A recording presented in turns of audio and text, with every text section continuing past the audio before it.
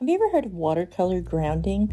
It's this awesome paste that you can paint on pretty much anything and turn it into a watercolor surface.